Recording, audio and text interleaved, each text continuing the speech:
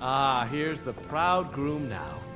Let's begin the ceremony. It was Mara that first gave birth to all of creation and pledged to watch over us as her children.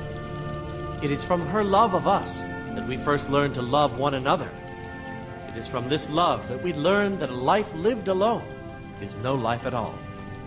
We gather here today under Mara's loving gaze to bear witness to the union of two souls in eternal companionship.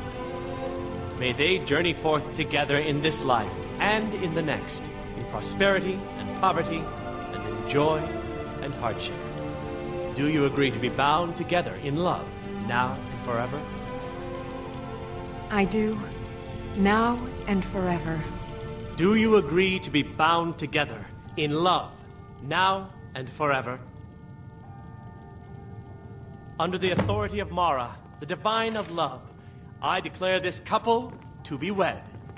I present the two of you with these matching rings, blessed by Mara's divine grace.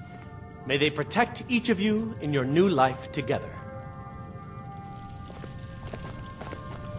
Congratulations on your wedding. I am so happy for both of you.